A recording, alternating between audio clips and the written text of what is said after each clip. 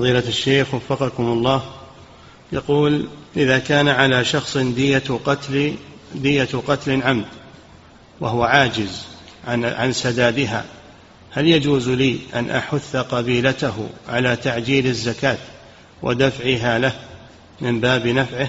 نعم لا بأس. دية العمد على القاتل ما يتحملها العاقلة فإذا كان عاجزا عنها يعطى من الزكاة. لأنه غارم لنفسه. نعم.